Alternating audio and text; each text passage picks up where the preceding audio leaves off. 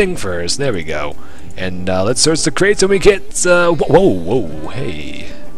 Hey there. Hey there, Armadyl Cloak. I'll take it. I don't have a damn clue what you're worth, but I'll take you. Um, let's see here. And we got, let's see, Armadyl Cloak is gonna be worth a